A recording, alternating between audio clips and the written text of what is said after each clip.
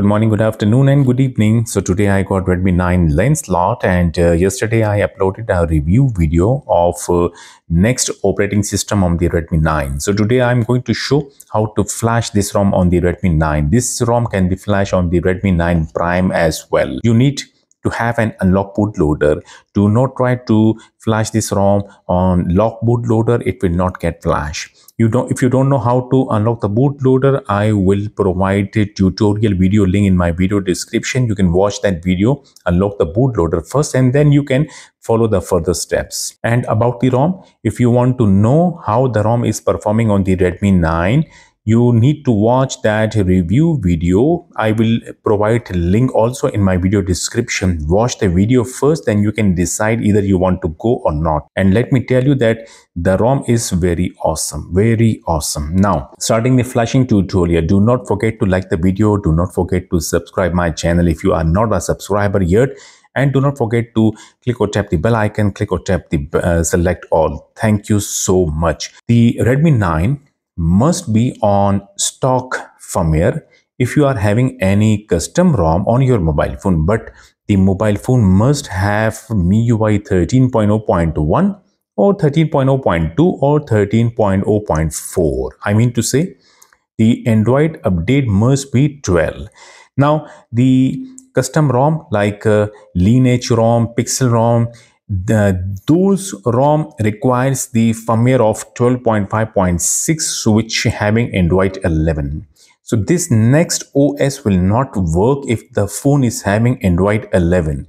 The phone must have Android 12. Now if you are not having uh, Android 12 stock ROM, then you need to flash either the firmware of the 13.0.4 or 13.0.1 or, or you can flash back the stock ROM and then you can follow the further step. Data will get erased. So definitely you need to save all the internal storage data. Must uh, charge the mobile phone battery to maximum so the mobile can get the ROM easily and sync your Xiaomi Mi account in case if you are using it and then must remove it then go to account sync sync your google account once and must remove it and also go to password security and turn off the screen lock, right? So my mobile phone uh, is having MIUI 13.0.4 which I just flash back on it so I can show the tutorial from the scratch. Now, if you have done all these things, then you can simply power off the mobile phone. Now about the files. Uh, links are provided in my video description. Simply click the link and download these files. First of all, we have to follow the ROM file like this is the first file. It was, uh, it uh, got released like uh, first, then the OTA release and the second or third OTA release. So we have to flash the first ROM then we will flash the second ROM, the OTA update, and then we will flash the third OTA updated ROM. Do not try to flash particularly the second one or the third one. I mean to say, if you have like a, have a custom recovery and if you are trying to flash directly the third OTA, the ROM will get flashed but it will not get boot and maybe it will cause the uh, mobile phone soft break. So we have to follow the sequence like first we will flash the first release ROM, then the second one and the third one. And this is the file for those who are having like a custom recovery Android version 11. They can flash the they can boot them into custom recovery of Android 11 support and then, then they can flash this firmware which is not that big size only 40 MB file and then you can come back and you can also flash the custom recovery with that custom recovery that you have already on your mobile phone and then reboot the recovery. The mobile phone will get rebooted into the android 12 recovery the custom recovery and then you can flash the all these three rom files. Now my, those who have mobile phone on stock rom like miui 13 13.0.1 2 3 4 they can follow the the, the step then I'm going to do. First of all, uh, extract the custom recovery. This custom recovery will support MIUI 13 and Android 12. This custom recovery will get flash in case if your mobile phone is on Android 11 but it, the recovery will not get boot. So extract the custom recovery of the MIUI 13 and Y12 first. And one more thing that about the ROM, and about the change log and what are the things working and what uh, change is uh, coming with the ROM. All that things provided in video description. If you want to know then you have to read the description. Now after extracting the recovery open the extracted folder of the custom recovery. So we are having files in this folder. Coming back towards the mobile phone. So mobile phone must have an unlock bootloader mobile phone must be power off. We have to boot the mobile phone into fast boot mode. Press and hold the volume down key. We need a data cable and uh, also check the other side of this cable must be connected with computer.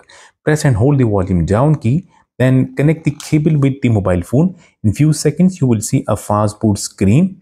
Then release the volume down key immediately. We got the fast boot screen I have released the volume down key. The mobile phone is booted into fast boot mode, connected already with the computer. Now on the computer screen, come to the, uh, I'm already in my extracted folder of the custom recovery. Double click the flash one file, the batch file, the recovery will start flashing and uh, the window will get closed after when, when it when when it get finished then double click the flash 2 file done and then double click the flash 3 file then immediately press and hold the volume up key before Mi logo appears.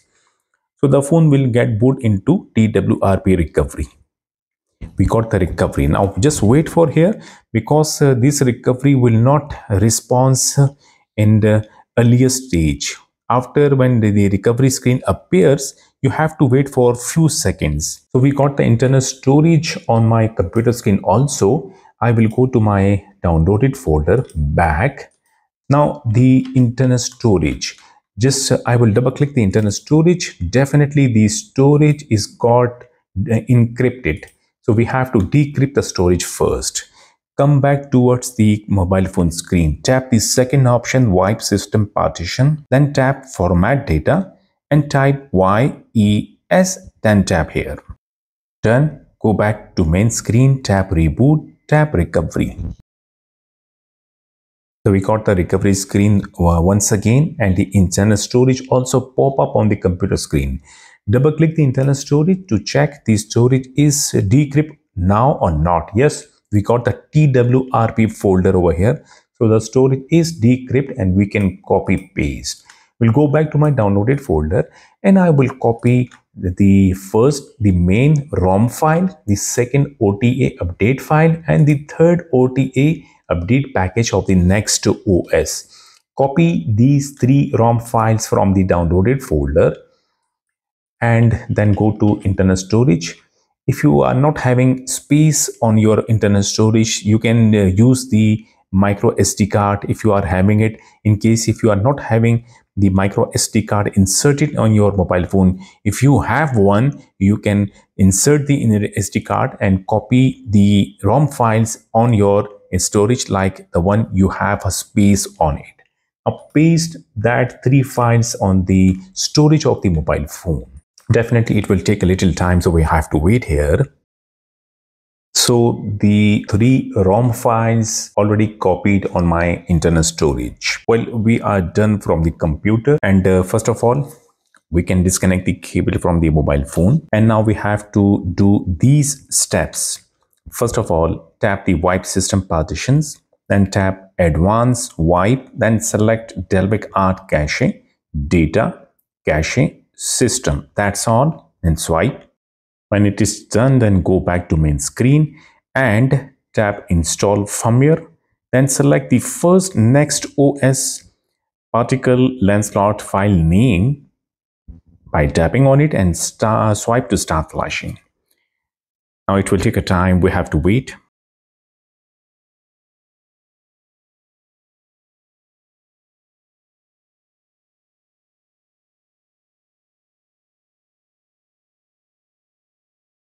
When the first file of the ROM gets completed, then go back to main screen, tap reboot and tap recovery.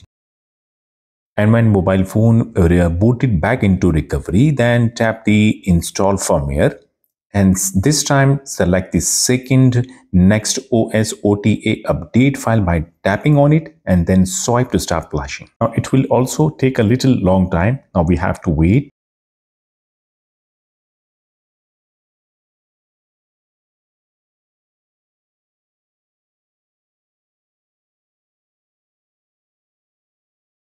And the second file got flashed perfectly.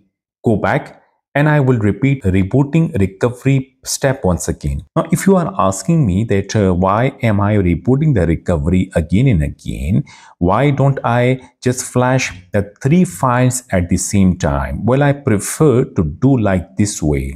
Now, I will repeat the uh, rebooting recovery. So we got the recovery screen back and same tap install firmware and select the third, the last OTA updated file, package file, then swipe to start flashing.